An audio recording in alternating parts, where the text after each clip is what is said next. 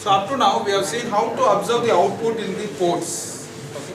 Now the same condition we are going to just observe it using a CRO. So we are having a software tool for it.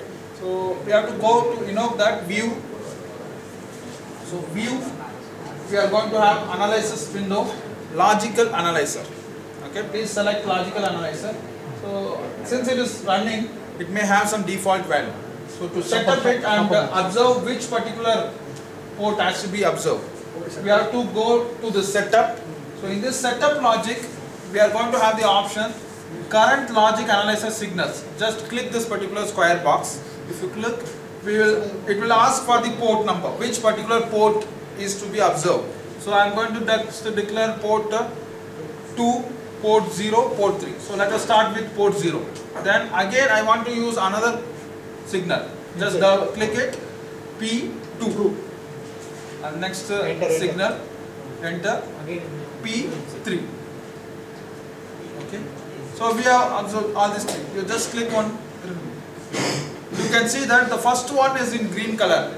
Okay. You want to modify the color, you can modify. And analog signal. In the analog signal, you click it and give as bit. Not down. You have to modify it as bit. Okay. Similarly, port 2 analog signal, modify it as bit.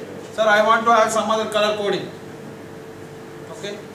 So according to your uh, wish, you can change.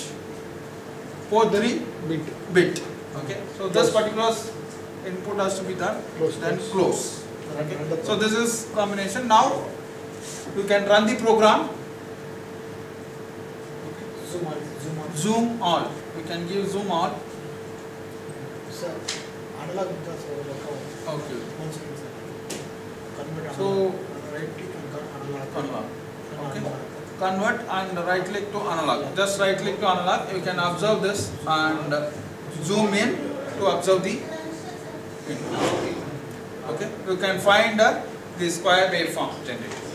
So when you are toggling the bits, it is nothing but high and low. Okay. So it is toggling.